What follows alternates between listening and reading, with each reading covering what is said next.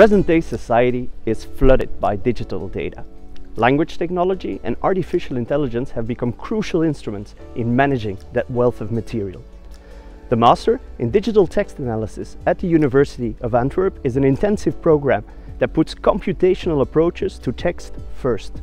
In just one year, you will learn how to program complex models of text, including state-of-the-art approaches in artificial intelligence.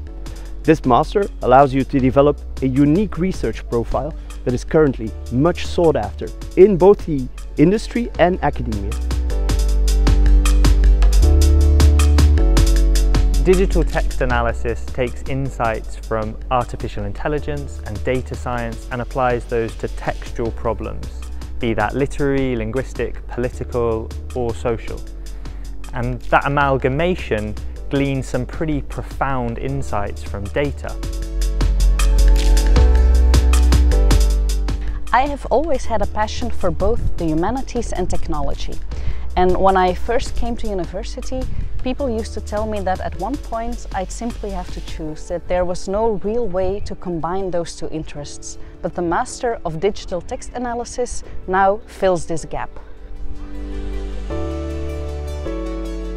What I like most about the program is that the professors are very hands-on. They have given us excellent tools to learn how to do real, thorough research. I like that I haven't been able to compromise my interest in humanities in order to do systematic research over large amounts of data.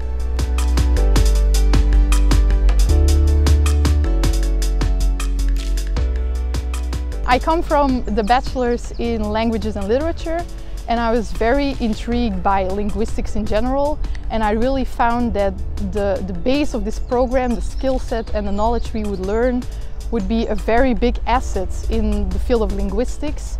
Um, this field really is the future of research and I was really intrigued by doing research. I really wanted to do that. So I chose this master's and I'm really happy that I did because I acquired a lot of skills, a lot of knowledge and a really different way of thinking as well.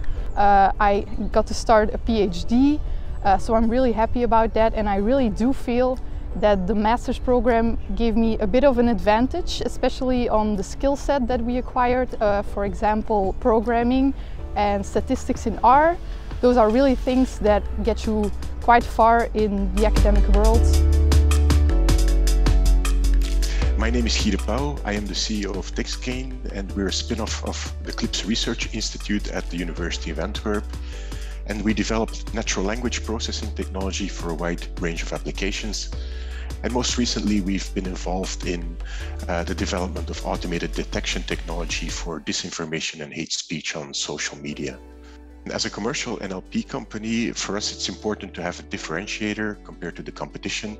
And so rather than hiring computer scientists who know a little bit about linguistics, we go the other way and we hire linguists who know how to handle language in a machine learning context and who have a thorough understanding of the methodology of machine learning. And I think that's exactly what the study digital text analysis is offering.